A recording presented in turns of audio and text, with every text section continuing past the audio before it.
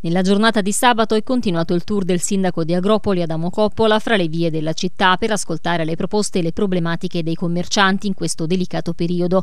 In questo caso Coppola ha ascoltato i proprietari delle attività del centro cittadino. Ho trovato disponibilità nel discutere dei problemi, dichiara il sindaco. Ho ricevuto incoraggiamenti e anche critiche, ma mi è piaciuto molto perché ognuno ha fatto delle proposte. C'è un clima positivo e la volontà di ragionare di stare assieme. Dobbiamo mettere in campo un progetto serio per il centro cittadino cittadino deve ritornare il luogo principale in città. Alcune cose devono cambiare, stiamo ragionando come fare. Alcune delle proposte fatte al primo cittadino sono state l'abbellimento e la pulizia di Piazza Vittorio Veneto e del centro in generale, la filodiffusione al fine di creare un centro commerciale naturale, ma anche la sospensione della ZTL e dei pagamenti per il parcheggio che potrebbero aiutare i commercianti. Il sindaco poi continua, c'è il fenomeno del distributore automatico H24 di bibite e cibo che è stato fatto presente da tutti, durante il periodo del virus è diventato molto conosciuto, non ha personale e ha prezzi più bassi dei bar. Dobbiamo ragionare per elevare le presenze in piazza, conclude Adamo Coppola. Ho cominciato a pensare anche di mettere delle regole di qualità per i negozi del corso.